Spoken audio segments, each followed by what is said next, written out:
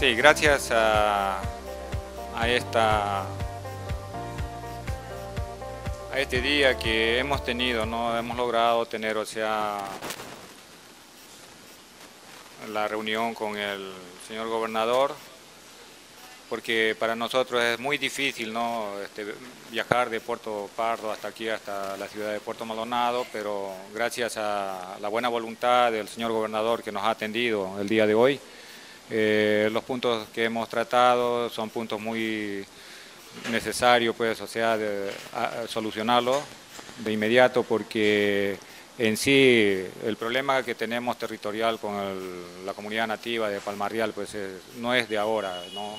Esto viene arrastrando ya más de 11 años y no es dable que estén pasando las autoridades y no, no tengamos solución de una vez, ¿no? Y nosotros como una comunidad fronteriza, pues prácticamente necesitamos tener espacio para poder, o sea, acoger más familias, para mantener ese, ese eh, o sea, ese espacio de, la frontera viva, pues, ¿no? Sí, lo que nos ha dicho el señor gobernador y gracias ¿no? a, la buena idea que tiene él ¿no? de juntarnos a las comunidades que estamos en este problema, porque no solamente es Puerto Pardo, también este, Palmarreal pretende también hacia Lago Valencia también quitarle una extensión, entonces se tendría que juntar a las dos comunidades este, de colonos, ¿no? centros poblados o caseríos, que es Lago Valencia, Puerto Pardo y la comunidad nativa de Palmarreal.